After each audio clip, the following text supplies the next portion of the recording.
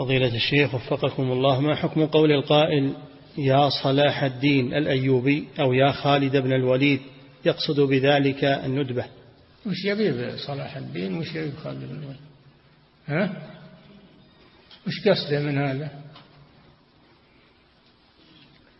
يبيه يطلع يقاتل المشركين و... وأمريكا و... ما ما هو بطالع ولا هم قاتلون أنت اللي قاتلهم. نعم.